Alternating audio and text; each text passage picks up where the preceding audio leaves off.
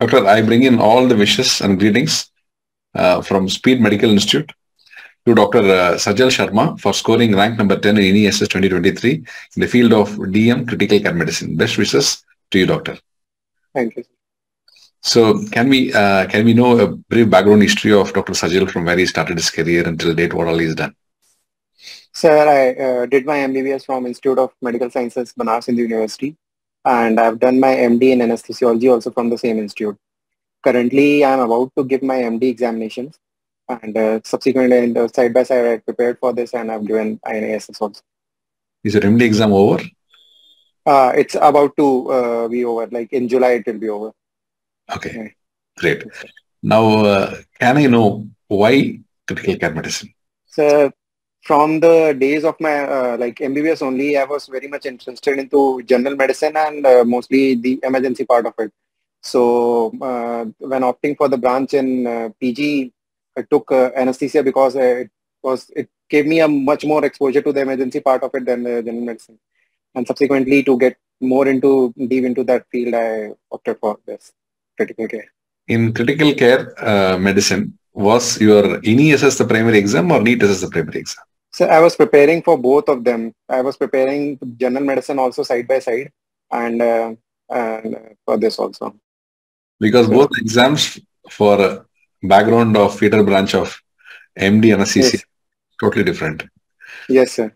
Because NEET SS, you need to go through general medicine through Harrison of 20% yes, and, and yes. stuff. And for critical care medicine, as such critical care medicine plus 25 or 30 questions from general medicine. So how are you able to uh, balance both? Sir, um, I like the, all my, the entire preparation of mine was through uh, speed only, be it the general medicine part or be it the critical care medicine part. I started my preparation from like uh, from the mid half of like one year back from last January. So I tried to complete my notes within six months, and since then I've been uh, consistently trying to revise them as much as possible. So that's how sir. So how much of time you used to give for critical care? How much of time you used to give for general medicine? Till uh, this, uh, before this January, I used to uh, keep on revising them and uh, it was like uh, I started from general medicine and uh, while completing general medicine, then revising the critical care and this goes in a cycle. So once the, the entire thing is completed, then again. But after January, it was like now INISS is very close. So I uh, concentrated more on uh, this critical care part.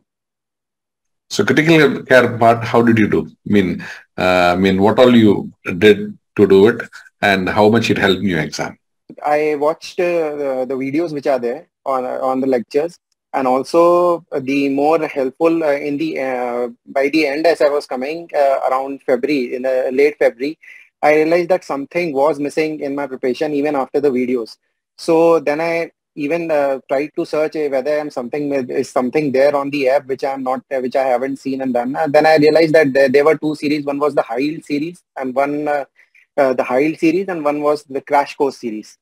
So those after doing those two things, uh, my preparation like boosted like anything after within within a one month. So by March I was able to I had completed it. And from March till 29th of April, I kept a target like as I've uh, recently done these, so I need to revise them. So I kept a target that at least three to four times I'll complete this revision before appearing for the exam. And, and, and background of anesthesia, critical care, uh, medicine, uh, subscription and speed is a ocean actually. I mean, uh, there yes, are a lot of verticals for anesthesia and anesthesia, yes, critical care, critical care medicine verticals, basic, yes, high yield, and uh, it's it's like uh, it's like a kind of a stuff where you can choose what you wanted to do. Yes, sir. According to the background. It, yes, sir. And it's not entirely sir, like uh, INISS is critical care based. If uh, I felt like because I have read general medicine also, some questions were easy because of that also. So uh, that also helped. Like one cannot go entirely for critical care without general medicine. This one of my senior told me that if you are going for critical care, now either now or later you will have to read general medicine so that has to be. Now you tell me, doctor, because there are a lot of students from MD anesthesia background want to do critical care. Yes, but the problem is, in INISS, the number of seats are restricted or limited. Yes, but the problem is, at least in in ESS, they can go to hardcore critical care with the background of anesthesia, where yes, they come to. But when they have to choose NEET SS, it's totally a different ballgame.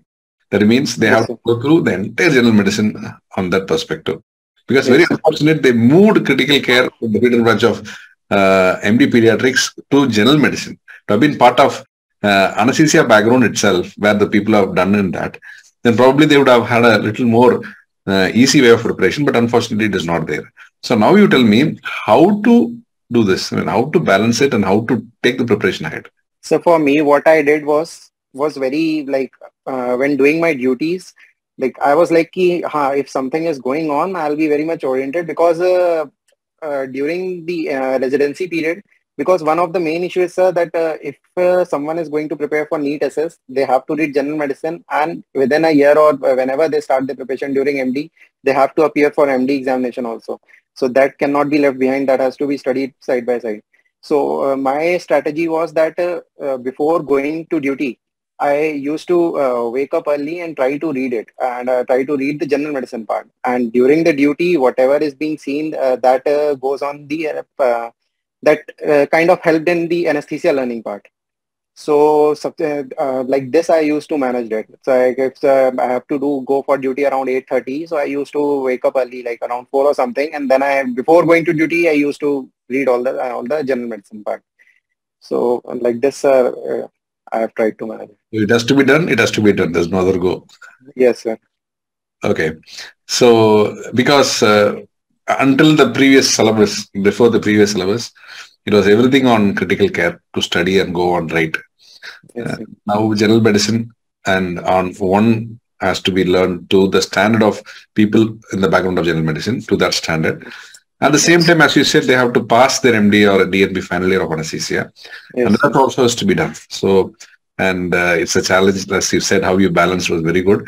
And now you approved it uh, appropriate that you've done uh, great in your exams. So what is the message that you want to leave to the juniors and what do you want to tell them and to choose a specialty of critical care medicine? So the one message that I would say that uh, if you like uh, raise 0.99 to the power of 365 and if you rate 1.01 to the power of 365, there will be a significant difference. So that 0.01 makes a significant. So keep on doing even little if you are not even not able to study, like try to give at least half an hour to one hour. And if this consistency is maintained, you will never know from where one hour you reach to four hours or five hours of time. So like even a small effort should be done every day. Like that should be the discipline. Great. So we wish you all the best and all the success, the great career in critical care medicine years to come. Keep going, doctor. Keep inspiring as always like this. And with your efforts, I think you will touch millions of life and be life-saving profession you have chosen. Best wishes to you. Thank you, sir.